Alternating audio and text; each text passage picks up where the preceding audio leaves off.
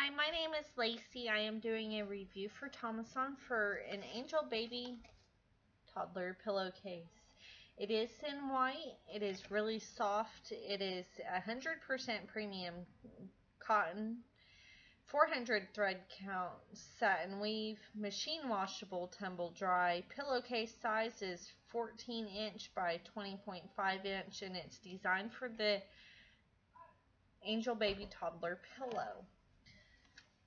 It is very soft. We like it. I've washed it and it's still really nice and soft. I would definitely recommend it if you have an angel baby toddler pillow and never know when you might be able to use it because I know my kids, they like to make messes and sometimes you need extra pillowcases for their own pillows.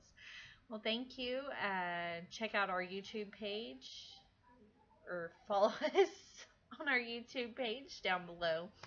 Uh, also, check out our Facebook page, which is Hunka Hunka Burnin' Reviews, as well as our Twitter account.